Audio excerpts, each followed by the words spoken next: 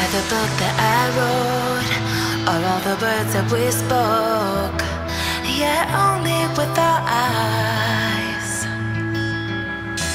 Now is the time to choose. Somebody wins and some lose. I can see through your disguise.